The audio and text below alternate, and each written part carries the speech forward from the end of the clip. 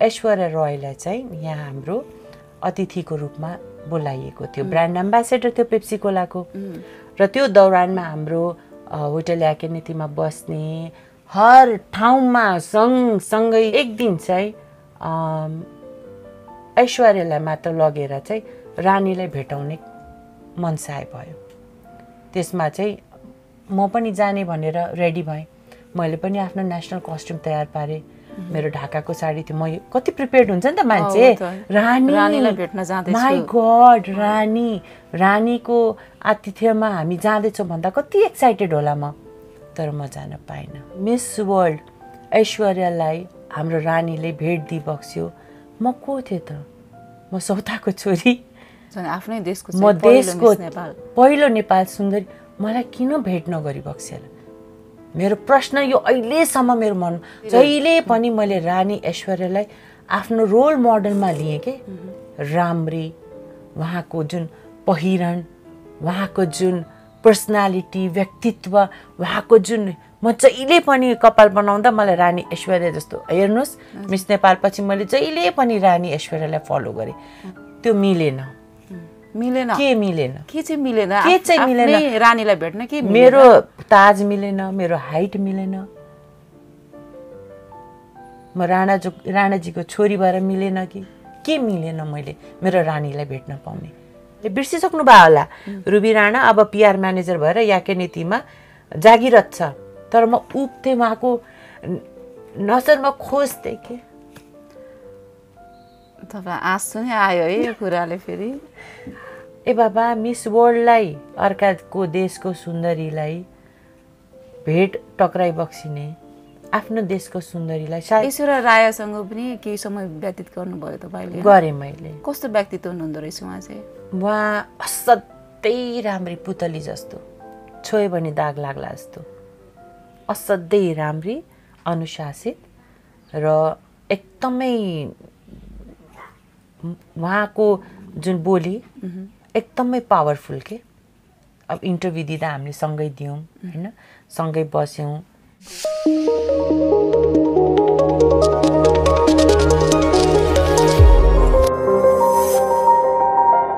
Ma'am नमस्ते स्वागत छ। हजुर। अब आज चाहिँ विशेष म तपाईँसँग के कुरा गर्न चाहन्छु भने यो त पुरानो कुरा हो तर पुरानो कुरा भए पनि कहिलेकाहीँ चाहिँ उत्सुकता उत्सुकता हुन्छ कि? त्यो खास के भएको थियो भन्ने कुरा होइन। अब यहाँ चाहिँ नाइन्टिन नाइन्टी फोरको चाहिँ मिस नेपाल र। पहिलो मिस नेपाल पनि हुनुहुन्छ। र नाइन्टिन नाइन्टी फोरमै सम्पन्न भएको मिस वर्ल्ड चाहिँ भारतीय अभिनेत्री ऐश्वर्या रायले जित्नु भएको उपाधि होइन। र अब उहाँ नेपाल आउनुभएको एउटा सानो चाहिँ विषयलाई तपाईँले फेसबुकमा लगभग आजभन्दा एक वर्ष अगाडि सेयर गर्नुभएको। थियो होइन। खास तपाईँको त्यहाँ अलिकति हाम्रो देशको रानीलाई चाहिँ रानी ऐश्वर्यालाई कति मिठो मिठो शब्दले यहाँले चाहिँ वर्णन पनि गर्नुभयो। त्यो त्यो तपाईँले वर्णन गर्नुभएको त्यो शब्दहरू सुन्दा पनि कस्तो क्या आफैलाई पनि अझै हामीले पनि हेर्नु पाएको भए भेट्नु पाएको भए त्यो हर्रै मनै हर्रै हुने खालको वर्णन चाहिँ त्यस्तो थियो होइन। तर तिक्तता है अलिकति मनमा तितो लागेको कुरा भनेर भन्नुभएको थियो होइन। त्यो घटना के थियो तपाईँले स्पष्ट भनिदिनुहोस् न? त्यो समयमा पुग्नुभन्दा अगाडि म मेरो ब्याकग्राउन्ड भन्न चाहन्छु। मेरो बुवा इन्डियन आर्मीमा ओइ बक्सिन्थ्यो उहाँको पैँतिस वर्ष कार्यरत सकिसकेपछि रिटायर्ड भएपछि हामी नाइन्टिन एटी टूमा वीरगन्जमा हामी आयौँ। छक्क यहाँ गाउँमा हाम्रो काका बुवाको घर थियो। त्यहाँदेखि हामीले हाम्रो भनौँ न नेपालको लाइफ हामीले स्टार्ट गऱ्यौँ। र जति बेला नाइन्टिन नाइन्टी फोरभन्दा अगाडि चाहिँ नाइन्टिन नाइन्टी टूमा चाहिँ हिम यो हिमालयन एक्सपोमा मैले मोडलिङ गरेको थिएँ। त्यहाँ रचना गुरुङ म्याम पनि होइसिन्थ्यो है। र त्यति बेला चाहिँ एउटा टाइटल थियो बेस्ट क्याट वक। जुन चाहिँ मलाई हन्ड्रेड पर्सेन्ट मैले लिन्छु भन्ने थियो तर मैले पाइनँ। त्यति बेला मेरो साथी कल्पना कुँवर जो चाहिँ एयर होस्टेस हुनुहुन्थ्यो उहाँले पायो। त्यो इखले लिएर मलाई एटलिस्ट एक वर्ष मलाई लाग्यो कभर हुन। म किन बेस्ट मिस क्याट वक भइनँ भनेर। त्यो आज म खोल्दैछु है। र जब नाइन्टिन नाइन्टी फोरमा यो मिस नेपालको फर्म आउनुभन्दा अगाडि मिस इन्डिया हुँदैछ। मेरो बुवाले मैले मेरो बुवा मेरो बेस्ट साथी। म यस्तो यस्तो म ब्युटी उसमा कि त एयर होस्टेस बन्छु कि त म मोडलिङ गर्नलाई इन्डिया जान्छु भन्थेँ म जहिले पनि। हजुर। किनभने मैले पाउँथेँ पनि बुवाको त्यो त्यत्रो भनौँ न इन्डियामा इन्डियन आर्मीमा पैँतिस छत्तिस वर्ष उहाँले दिएको योगदानबाट मैले पाउँथेँ। अनि बुवाले नै मलाई ल मिस इन्डिया हुँदैछ। तिमी पार्टिसिपेट गर्छौ भन्दा उहाँले मलाई फर्महरू मिस फेमिनाबाट मिस फेमिना म्यागजिन आउँथ्यो नि जसमा एडिटर शोभा डे पनि हुनुहुन्थ्यो। त्यो फर्म मलाई ल्याएर मैले आफ्नो हिमालयन एक्सपोको क्याटवक गरेको फोटो हालिवरिकन सबै मैले चाहिँ मुम्बई पठाएँ। त्यति बेला सुस्मिता सेन ऐश्वर्या राय यदि मैले त्यति बेला इन्डियामा पार्टिसिपेट गरेको भए रुबी राणा पनि हुन्थ्यो। हुन्थ्यो म आफ्नो कनेक्टेड ऐश्वर्या रायसँग त्यसरी गर्दैछु। फर्मबाट मलाई सेलेक्ट भयो। म सर्ट लिस्टेडमा पनि आएँ। मलाई त्यहाँबाट शोभा डे त्यति बेला हाम्रो घरमा फोन पनि थिएन। किन थिएन भने सबै आर्थिक अवस्थाले गर्दा। छिमेकी मेरो विदुर मामा होइसिन्थ्यो। यहाँभन्दा लगभग मैले तिन मिनटमा मेरो मामाको घरमा जानु पर्थ्यो तिम्रो मिस फेमिना फेमिनाको शोभा डेले फोन गर्नुभएको छ। फोन आइ भनेर एउटा भन्नु पठाइरहेको छ मलाई। मैले गएँ शोभा डे म्यामसँग कुरा गरेँ। अनि उहाँले युआर सेलेक्टेड तिमी यहाँ आएर चाहिँ फेस गर्नुपर्छ। सोच्नुहोस् बहिनी वीरगन्ज जस्तो छपको यहाँ ठाउँबाट। अब जसको घरमा फोन छैन त्यो व्यक्ति कसरी जाने? होइन? जानुको लागि सिमराबाट काठमाडौँ आउनु पर्यो। यहाँको खास घर चाहिँ इन्डिया थियो। खास घर कुल घर हाम्रो इन्डियामा हो कि? बुवा त हजुरको जङ राणा यो राणाजीहरूले खेद्ने पालामा ग्वालियर महाराजकाबाट नै अब लुक्न गएको नि त ग्वालियर महाराजका। त्यहाँबाट हजुरको उहाँको रिक्रुटबाट उहाँको सिपाहीबाट चाहिँ उहाँको एउटा आर्मीबाट उहाँको चाहिँ एउटा यात्रा सुरु भयो कि। अनि त्यसले गर्दाखेरि चाहिँ अब भनौँ न त्यो आर्थिक अवस्थाले गर्दा चाहिँ म मिस इन्डियामा जानु पाउनु पाइनँ। यति फ्रस्ट्रेटेड भएँ म। त्यसको लगत्तै दुई महिनापछि गोर्खापत्रमा मिस नेपाल हुन लाग्छ नेपालमा पहिलोचोटि भन्ने फर्म आयो। मैले यसो हेरेँ पापाले गोर्खापत्र नै पढिबक्सिन्थ्यो मैले हेरेर छोडिदिएँ। अब त्यो कुरा त म कति मलाई स्ट्रेस भएको छ भन्ने कुरा आमालाई थाहा छ हामी पाँचजना चारजना दिदीबहिनीलाई थाहा छ। मेरो कान्छी बहिनीले त्यो फर्म काटेर बुवासँग मिलेर मेरो फर्म भर्न थाल्यो। है? र त्यति बेलामा चाहिँ हजुरको मेरो श्रीमानले चाहिँ पनि मलाई चाहिँ यस अर्को फर्म पनि पठाउनु भयो काठमाडौँ जेसिसबाट त्यति बेला हामी श्रीमान श्रीमती त्यति यस्तो भनौँ न केही पनि थिएन हाम्रो। र हुनुहुन्थ्यो। रुबीले गर्न सक्छ सुमन दाई भन्ने काठमाडौँ जेसिसमा हुनुहुन्थ्यो। त्यो फर्म पनि आइपुग्यो। यस्तो लाग्यो कि मेरो त इम्पोर्टेन्स रहेछ। दुईवटा फर्म देखिसकेपछि घरमा मैले फर्म भरेँ म सेलेक्टेड भएँ मिस नेपाल पनि भएँ। र हिरक साँझ भन्ने पेप्सी कोलाले गरेको थियो जसमा चाहिँ ऐश्वर्या रोयलाई चाहिँ यहाँ हाम्रो अतिथिको रूपमा बोलाइएको थियो। ब्रान्ड एम्बेसेडर थियो पेप्सी कोलाको र त्यो दौरानमा हाम्रो होटल याकेनितीमा बस्ने हर ठाउँमा सँगसँगै सँगसँगै सँगसँगै हामीले कति दिन सँगै बितायौँ तिन चार दिन एउटै रुममा होइन। है कति क्लोज फ्रेन्ड भयौँ। तर एक दिन चाहिँ ऐश्वर्यालाई मात्र लगेर चाहिँ रानीलाई भेटाउने मनसाय भयो। त्यसमा चाहिँ म पनि जाने भनेर रेडी भएँ। मैले पनि आफ्नो नेसनल कस्ट्युम तयार पारेँ। मेरो ढाकाको साडी थियो। म कति प्रिपेयर्ड हुन्छ नि त मान्छे। रानी। माई गड रानी। रानीको आतिथ्यमा हामी जाँदैछौँ भन्दा कति एक्साइटेड होला म। तर म जान पाइनँ। म यति सङ्कुचित भएँ होइन? अ, बहिनीले अघि भने जस्तै नजदिकको तीर्थ हेला। तीर्थ हेला। त्यो बेलामा मिस वर्ल्ड ऐश्वर्यालाई हाम्रो रानीले भेट दिइबक्स्यो। म को थिएँ त? म सौताको छोरी। आफ्नै देशको म देशको पहिलो नेपाल सुन्दरी मलाई किन भेट नगरी बक्सेला मेरो प्रश्न यो अहिलेसम्म मेरो मन सायद त्यो घटनाहरू नभएको भए अहिले जुन हाम्रो रोयल फ्यामिलीमा म प्रश्न जरुर राख्थेँ। किन मैले मैले त्यो हिम्मत बनाइसकेको थिएँ कि? अगाडि चाहिँ जहिले पनि मैले रानी ऐश्वर्यालाई आफ्नो रोल मोडलमा लिएँ कि? राम्री उहाँको जुन पहिरन उहाँको जुन पर्सनालिटी व्यक्तित्व उहाँको जुन म जहिले पनि कपाल बनाउँदा मलाई रानी ऐश्वर्या जस्तो हेर्नुहोस्। मिस नेपाल पछि मैले जहिले पनि रानी ऐश्वर्यालाई फलो गरेँ। तर रानी ऐश्वर्याले मलाई भेट्न दिबक्स्या हो कि त्यसमा अरू भनौँ न जहाँ पनि मेरो छोरीले भने जस्तै हिजोको इन्टर पोलिटिक्स हुन्छ। पोलिटिक्स होइन त्यहाँ आयोजकहरूको के थियो? के थियो कि? म ब्लेम कसैलाई दिन चाहन्न मेरो दुर्भाग्य। तपाईँले सोध्नु भएन यो किन मलाई सुरुमा भेट्नको उहाँ- लागि चाहिँ हजुर। गरिएको थियो प्लानहरू प्रिपेयर मैले नसोधेको होला बहिनी। मेरो बुवा त आयोजकै पुगेर भनौँ न एक त अब उहाँ पनि राणा फ्यामिलीबाट होइन के म के जवाब पाउँथेँ त्यो मिलेन मिलेन के मिलेन के चाहिँ मिलेन के चाहिँ मिलेन? रानीलाई भेट्न के? मेरो ताज मिलेन मेरो हाइट मिलेन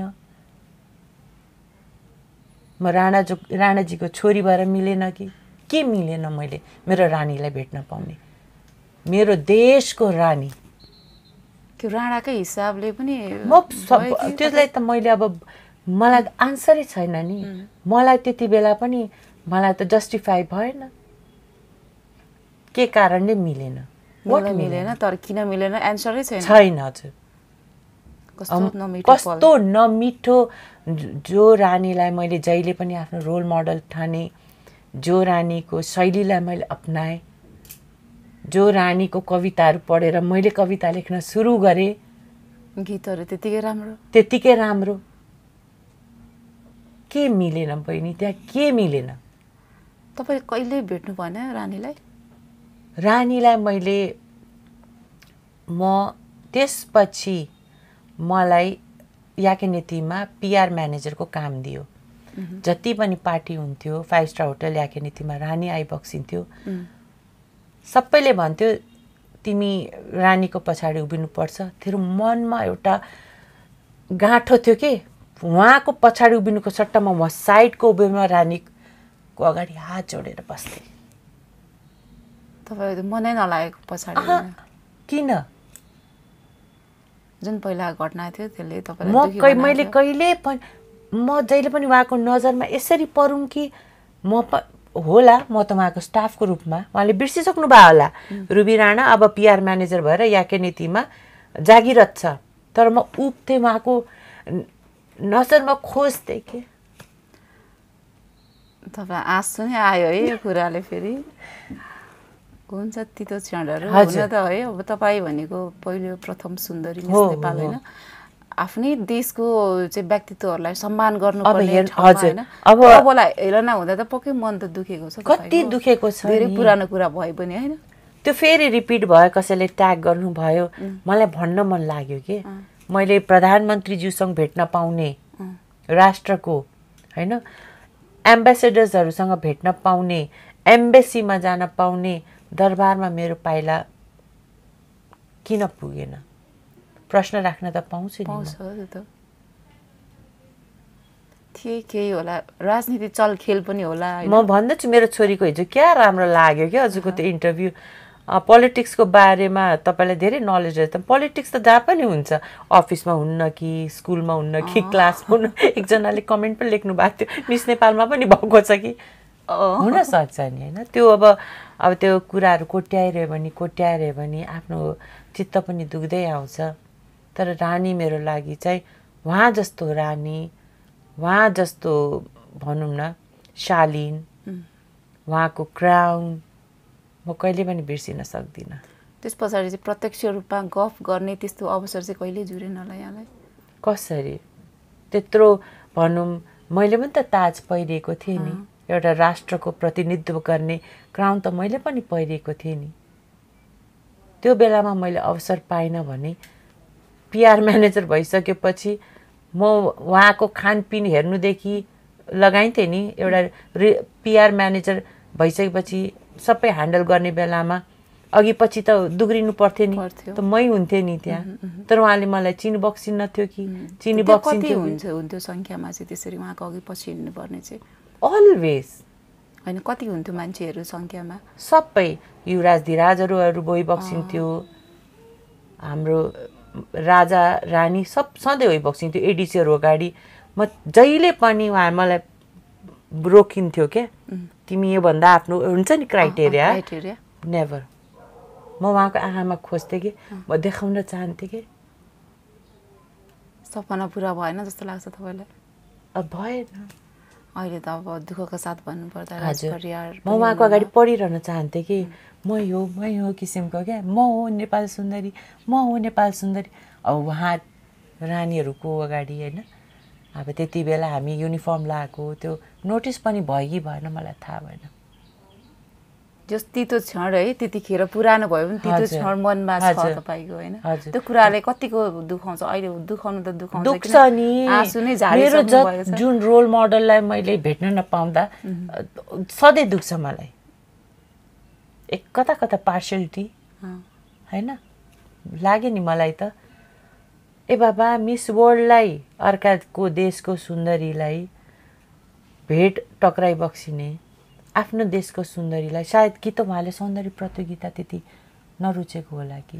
नरुचेको भयो भने त। मिस वर्ल्ड पनि त सौन्दर्य प्रतियोगिताबाट भएको हो त्यो त होइन? सेम सेम हो नि त अरे आधारहरू त होइन? अब त्यो आधारहरू सङ्कलन गऱ्यो भने त धेरै छ। मन पराउने नमन पराउने तर म रुचेन नि त उहाँको मनमा। सायद त्यसमा अरू केही अन्य कारण पनि हुनसक्छ होला। त्यो गर्वको विषय भयो किनभने उहाँ पनि हुनुहुन्न होइन। अब मनमा आफै कुरा गरेर आफै चित्त बुझाए त्यही मात्र छैन ईश्वर रायसँग पनि केही समय व्यतीत गर्नुभयो तपाईँले? गरेँ मैले। कस्तो व्यक्तित्व हुनुहुँदो रहेछ उहाँ चाहिँ? उहाँ असाध्यै राम्री पुतली जस्तो छोयो भने दाग लाग्ला जस्तो।